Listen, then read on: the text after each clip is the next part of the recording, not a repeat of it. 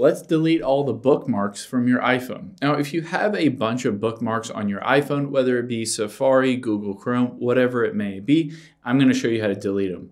The first and the easiest thing is that you can always just unsync that bookmark potentially from your iPhone. If you have it from computer or something else, you can always turn off the iCloud bookmarks and then it will remove them on its own. So let's hop into settings here and tap on our name at the very top.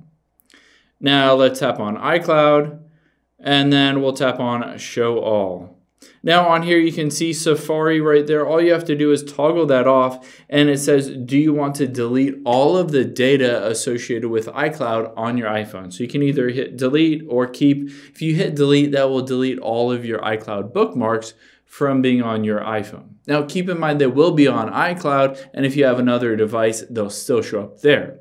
But if you want to hop out of here and just open up Safari, you can always just delete them directly from Safari. So let's tap on that little bookmark at the bottom right. And then on any of these, I can just swipe to the left here and then hit delete. So on any of these, swipe to the left and hit delete.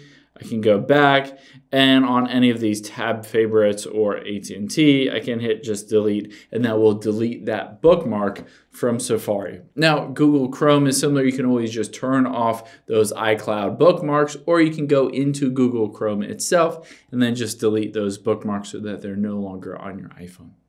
Hope this helps. If you have any questions on that, leave them in the comments down below and I'll catch you on the next one.